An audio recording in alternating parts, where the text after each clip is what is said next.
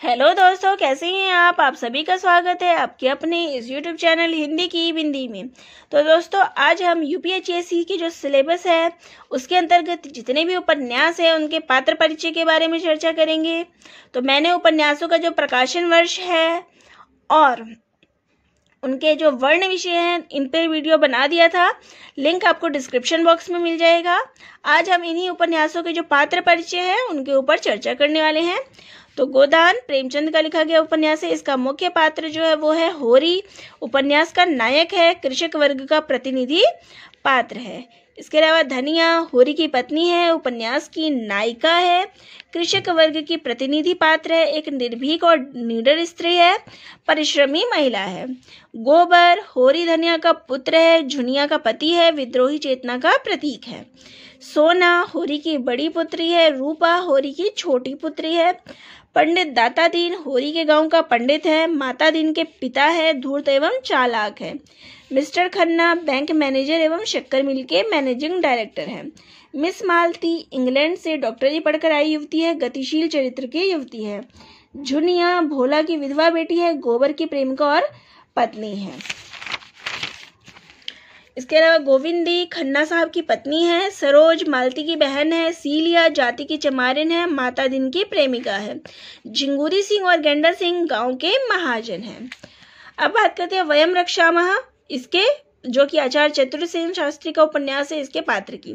तो रावण जो है इसका मुख्य पात्र है, उपन्यास का नायक है। इसके अलावा राम, सीता, हनुमान वशिष्ठ विश्वामित्र कुबेर, शिव, पार्वती, माली, सुमाली, माल्यवान, कुंभकर्ण मेघनाथ सुर्पनखा मारिच आदि का वर्णन है। तो अगर कहा जाए तो इसमें जो है रामायण के जितने भी पात्र हैं, जैसे कि दशरथ हो गए, केकई हो गई तो जितने भी रामायण के पात्र हैं, सभी का वर्णन इसमें दिया गया है, लेकिन जो मुख्य पात्र इसका आता है वो है रावण। तो रावण से जुड़े हुए जितने भी लोग हैं, देवता है, दानव है, सब इस इस उपन्यास में जो है उनके नाम दिए गए हैं। विराटा की पद्मिनी। अब इस उपन्यास के बारे में चर्चा कर तो इस उपन्यास के जो मुख्य पात्र हैं वो है कुमुद। मुख्य पात्र है नायिका है, विराटा की पद्मिनी है, एक दांगी कन्या है, किसान नरपति सिंह की पुत्री है। नरपति सिंह कुमुद का पिता है, कुंजर सिंह नायक है। दलीप नगर का राजकुमार है, एक वीर योद्धा है, देशभक्त है और एक सच्चा प्रेमी है। कुमुद से प्रेम करता है। देवी सिंह बुंदेला किसान है, सचरित्र, धर्मपरायण, संवेदनशील, अपने कर्तव्य के प्रति सजग है और सहृदय राजा है। इसके अलावा छोटी रानी नायक सिंह की दूसरी पत्नी है, स्वार्थी है और राज्य के लिए जो है उसके मन में लालच भाव है। स्वयं जो है, पद पे बैठना चाहती है। अली मर्दान, कालपी फौजदार है और खलनायक जो है, हम इसको कह सकते हैं कि जो इसका खलनायक है, वो हम इसको ले सकते हैं। नायक सिंह दलीप नगर का राजा है, अयोग्य है, विलासी सन की विवेकहीन और चरित्रहीन राजा है। रामदयाल नायक सिंह का मुँह लगा नौकर है प्रिय और प्रिय नौकर है। स्वार्थी, खुशामदी, क्रूर और कायर और चरित्रहीन व्यक्ति। अब जो है पुनर्नवा उपन्यास के पात्रों की बात करते हैं। तो इसमें पुरुष पात्र है गोपाल आर्य जो कि नायक है इसका। तो ये जो है इसका नायक है। देवरात नियामक पात्र, अद्भुत व्यक्तित्व का है, कवि है। श्याम रूप ये देव आर्य का जो है भाई होता है और देवरात का शिष्य, पुत्र समान शिष्य होता है। चारुदत्त, श्रीचंद, गोप वनभूमि के चौधरी हैं। गोप के जो है पुत्र होते हैं आर्यक और श्यामरूप स्त्री पात्र जो है वो है मृणाल, चंद्रा, मांदी, मंजुला, वसंत सेना। तो मृणाल जो है वो नायिका कही जा सकती है, मृणाल और चंद्रा हम कह सकते हैं। तो ये इसके मुख्य पात्र हैं। अब जो है बात करते हैं नदी के द्वीप, जो है उसके पात्रों की। तो भुवन विज्ञान का प्रोफेसर है, नायक है, रेखा एक पढ़ी लिखी स्त्री है, पति द्वारा त्यगता होती है और संवेदनशील और मुख्य पात्र है। गौरा भुवन की छात्रा है, संस्कारी शिक्षित है। चंद्रमाधव खलनायक पात्र है, पत्रकार है, स्वार्थी प्रवृत्ति का है। हेमेंद्र रेखा का पति है, जो केवल उसे पाना चाहता है, जब नहीं हासिल कर पाता तो उसे छोड़ देता है। डॉक्टर रमेश चंद्र रेखा का नया पति है और एक सुलझा हुआ व्यक्ति है। भूले बिसरे चित्र, जो कि भगवती चरण वर्मा का है। भीखू कहार जाति का है, कचहरी में शिवपाल के साथ काम करता है, शिवपाल का नौकर है। छिन्न की भीखू की पत्नी है, शिवपाल के घर में काम करती है, शिवपाल के साथ उसके अवैध संबंध है। शिवपाल कचहरी में काम करता है, विदुर है, मुख्य पात्र है। ज्वाला प्रसाद शिवपाल का बेटा है, राधेलाल शिवपाल का भाई है। जमुना ज्वाला प्रसाद की पत्नी है, मलका एक स्त्री पात्र है, संतो स्त्री पात्र है गंगा प्रसाद ज्वाला प्रसाद का बेटा है। और गंगा प्रसाद का ही इन दोनों के साथ संबंध होता है, प्रेम होता है।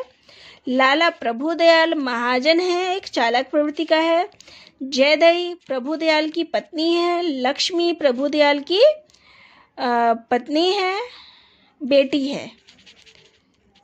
तो ये जो है, प्रभुदयाल की बेटी है। यहाँ पे गलती से पत्नी हो गया था, ये बेटी है ठाकुर बरजोर सिंह और ठाकुर गजराज सिंह।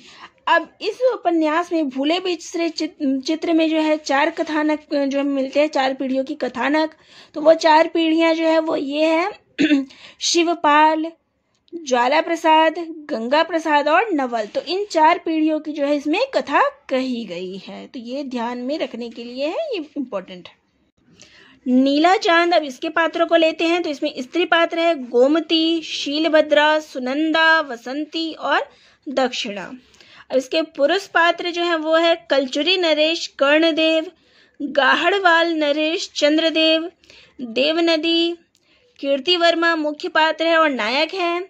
गोविंद शंकर, विद्याधर, चंदेल सम्राट है।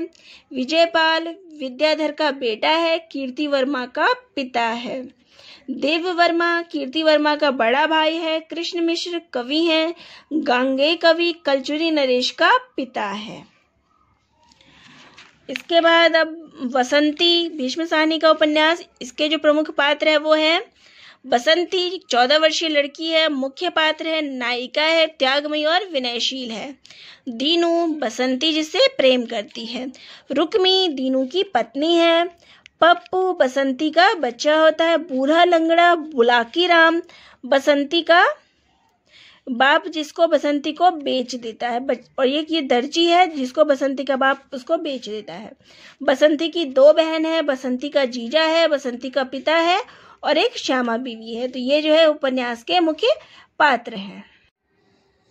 अब है मैला आंचल, इसके जो प्रमुख पात्र है वो है डॉक्टर प्रशांत, मुख्य पात्र है कमली नायिका है विश्वनाथ प्रसाद तहसीलदार है, बालदेव कांग्रेस की कार्यकर्ता है, चुन्नीलाल स्वराज के प्रति समर्पित है, लक्ष्मी सेवादास मठ के पुजारी है, रमादास, रामप्रिया, कालीचरण, मंगला और बावन दास तो ये जो थे उनके मैला आंचल के मुख्य पात्र हैं। झूठा सच तो इसके जो मुख्य पात्र हैं वो है जयदेवपुरी प्रमुख पात्र मध्य वर्ग का प्रतिनिधि तारा, मुख्य नारी पात्र जयदेव की बहन आधुनिक सोच वाली स्त्री है। कनक आधुनिक और प्रगतिशील विचारों वाली स्त्री है। संपन्न परिवार की स्त्री है और जयदेव की पत्नी है। इसके अलावा जो अन्य पात्र है, वो है पंडित गिरधारी लाल नैयर, डॉक्टर प्राणनाथ सूद, शीला, उर्मिला और सोमनाथ। तो ये हैं वो झूठा सच के प्रमुख पात्र। उसके अलावा मानस का हंस, इसके जो प्रमुख पात्र हैं, वो है बाबा तुलसीदास, उपन्यास के केंद्र बिंदु हैं रत्नावली तुलसीदास की पत्नी है पंडित दीन बंधु रत्नावली के पिता हैं श्यामो श्यामो की बुआ मैना कहारिन संत बेनी माधव, रामू द्विवेदी, पंडित गणपति उपाध्याय, बकरीदी चाचा, रजिया बाबा, मनकू, मित्र गंगाराम। तो ये मानस के हंस के प्रमुख पात्र हैं।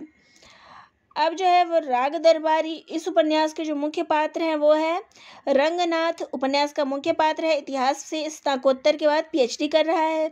वैद्य जी उपन्यास के नायक हैं और केंद्रीय पात्र है, व्यवहार कुशल, दोहरा चरित्र वाले और रिश्वत खोर हैं। प्रिंसिपल छंगामल विद्यालय के प्रिंसिपल हैं, चाटुकार चुगली करने वाला व्यक्ति है।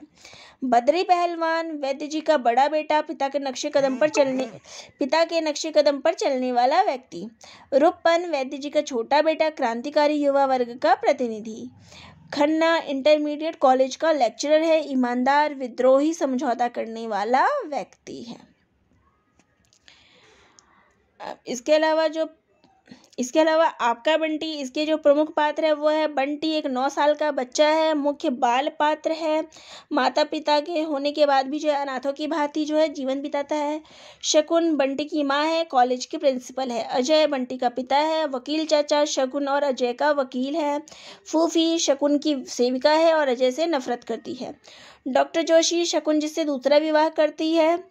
और अभी और जो डॉक्टर जोशी के बच्चे हैं, अतिरिक्त पात्र मीरा और माली है। मीरा, जिसे अजय जो है दूसरा विवाह करते हैं। तो दोस्तों, ये था जो यू पी सिलेबस के अंतर्गत जितने भी उपन्यास थे, उनके पात्र परिचय। तो आप सभी को कैसा लगा? कमेंट बॉक्स में ज़रूर लिखिएगा। चैनल पे नए हैं तो चैनल को ज़रूर सब्सक्राइब करिएगा। इसके अलावा अगर कोई और भी समस्या हो तो इसके अलावा कोई और भी समस्या हो तो वह भी कमेंट बॉक्स में ज़रूर लिखिएगा। तो दोस्तों, आप सभी का बहुत बहुत धन्यवाद।